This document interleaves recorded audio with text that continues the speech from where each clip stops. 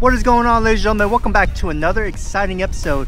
And yes, it's not clickbait, right? We are literally fishing adjacent to a facility that's very important to national security and the well-being of the United States. And it's like right over there. I can't show you guys, right? I, just, I don't want the feds be knocking on my door or anything like that. Not that I'm doing anything illegal, but uh, yeah. So the plan is to use some paddle tails, fish this area. It's not too massive, it's not big but there's a lot of undulations, meaning drop-offs, apexes, lots of mud, lots of oyster. Uh, so redfish, flounder, hopefully, speckled trout, uh, probably not. Maybe speckled trout, it's kind of a little bit rare out here, but flounder and redfish for sure are the targeted species today. Guys, I appreciate every one of you guys that clicked on the video. If you haven't yet, hit that subscribe button, hit that like button. Please, please leave a comment. You guys don't leave enough comments. And yeah, here we go. Let's see if we can catch some fish.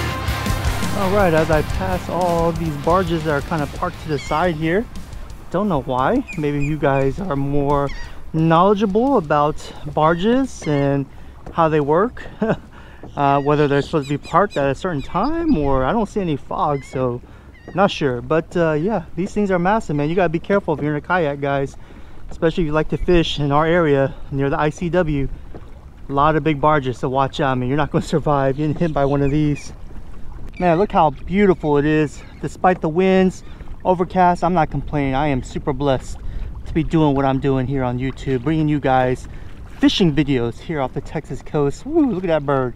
Wildlife is beautiful. Scenery is beautiful. There's not another kayaker out here although there are a couple other boaters.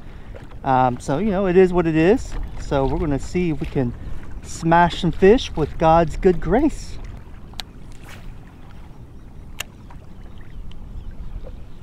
all right what is the game plan? The game plan is really simple. Uh, this area is pretty shallow and there's a lot of good structure like oysters drains cuts um, things of that nature. I wouldn't say there's a there's a lot of those but there are a handful in this little spot here. So i'm just kind of meticulously work my way through targeting these structures. And at the same time i'm going to keep my eyes open and ears or eyes peeled and ears open for any type of blow up maybe some shrimp popping anything that's going to resemble a predatory fish chasing bait. So yeah that's the plan. Pretty simple. Man that water level is really high man. Abnormally high. So that's a little bit of concern but at the same time that's a little bit of a relief because as I said this spot is super super skinny and having this much water will aid me in um, gliding through the back but with the winds though you know I mean it doesn't really count right? It kind of negates itself. Okay, what are these birds doing here? Kind of has me curious what's going on. It's seagulls. That's always a good sign when they're picking off bait right here near the grass line.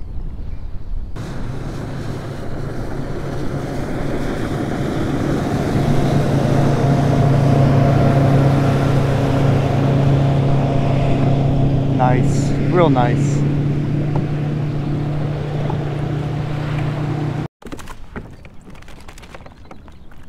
Oh man, I don't know if I recorded it, but I just caught a nice speckled trout right here, about five feet deep. I was looking at some birds that are kind of chasing some bait or catching bait rather and I think maybe there's some specks kind of running in the deep part of this area where that boater went but man it's a nice fish. All right ladies and gentlemen first fish of the day nice keeper speckled trout very thick very healthy. As I stated I apologize sometimes I'm just GoPro illiterate where I don't know how to use a GoPro and apparently I like to film the aftermath the after catch and not the before so excuse me for that but yeah nice trout let's let them go super happy way to start the day man nice Freaking trout. There you go, buddy. Make some babies. well, okay, first fish down. Let's see if we can get another one. I'm just gonna kind of work this deep part, look for birds, and the birds are like right there working again. Very encouraging when a plan comes to fruition. Although it is still early, let's not hold our breath for too long here. We're gonna meticulously work our way. Like this area right here, or this spot is pretty deep, deeper than I, what I remember, to be frank. I'm just gonna have, have these uh, homegrown drones lead me the way, if you know what I mean.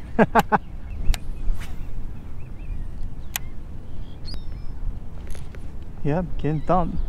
Lots of bait here. Could be like pinfish too, you know what I mean?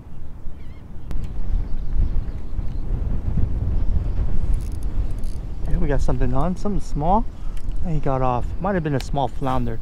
And that's kind of what I've been uh, intuitively trying to target this flounder because I know it's very soft mud down there mixed with oyster and along with this grass line leads a pretty good um, area to fish for flounder in my opinion so we're gonna keep working the bottom here see if we can get lucky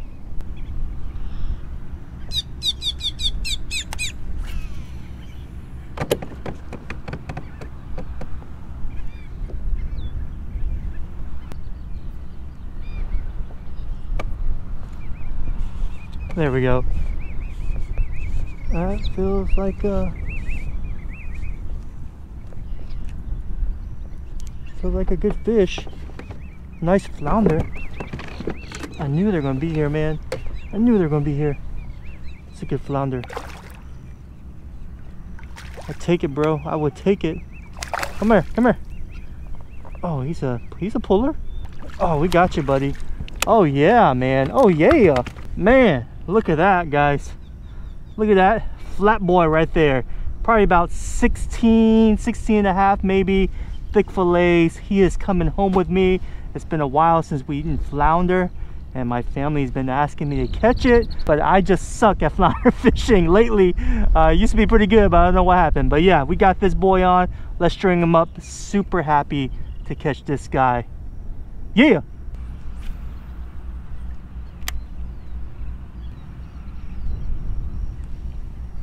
There we go. That felt good. That felt good. Might be another flounder in the way he's pulling. Might be another flounder. If it is, it's a good one. Or it could be a redfish. Got some pull on him. It's a small little red.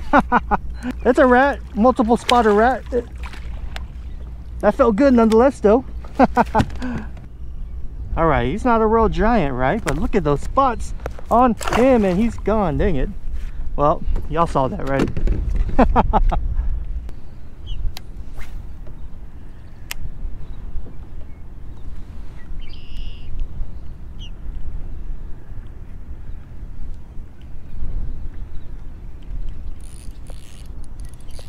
Got something on here, baby. Might be another flounder. Who he's pulling. Believe so, baby. Oh, okay.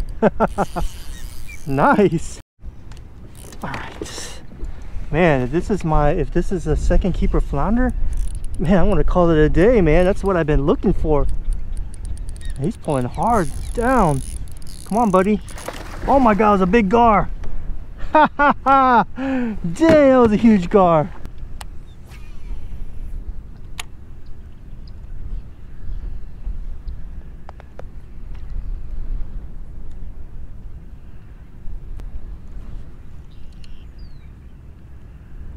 There we go. Nice. Another flounder, baby. Oh, yes.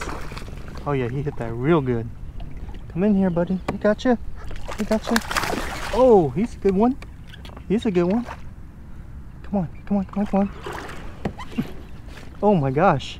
Pull and drag, wow. Oh yeah, that's a nice one. Come on here. We got you, we got you. Oh yes, that's what I'm talking about. Woo! Now this is a bruiser of a flounder, man. Goodness gracious. 17 all day. Thick, thick fillets. He's been eating real good. He went for that paddle tail like there was no tomorrow. Look at that, ladies and gentlemen.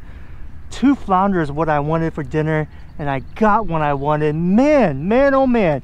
I know I'm repetitive at times, but when a plan comes to fruition, really, I can't, I mean, I mean, just to come out here is awesome to fish, but to grind it and get what you really want, that's the way you do it, ladies and gentlemen. 17 and a half inches right there. All right, let's talk about the equipment I'm using today. I know I do this at the end of pretty much every video because I have a lot of new subscribers, so welcome guys. Uh, right now we are using the Old 18 Buoyancy Light Action 7 foot casting rod, made in USA, all components, high quality, very high-end rod. There's a discount code and a link below, RX Angler 20, save 20% off your order. We're also using the Shimano Metanium. This is the 2021, 2020 model I believe. Uh, it's the original one that's come out, uh, not the shallow edition and not the new Metanium 100, which I'll get on my channel soon, so stay tuned. Uh, we're using Varivas 1.5 gauge braided line. At the end, we are using 12 pound fluorocarbon leader. if you're looking to purchase any of this stuff, there's discount codes in the description box below. Yeah guys, I had a heck of a day. Really happy I chose the spot because of the winds this was one of my many, I wouldn't say many options, but select few options that would give me protection from the winds. Even though I didn't really get that much protection, I, am not gonna complain because I enjoy myself out here. Caught two nice big flounder, nice big speckled trout. Could have had a Texas slam, but I lost the other redfish. But it is what it is. I had a lot of fun. I hope you guys enjoyed the video. Once again, hit that like button, leave a comment. You don't leave enough comments. I need to hear you talk, all right? And also hit that subscribe button. Thank you so much, guys. I love every single one of you. And we'll catch you on the next one.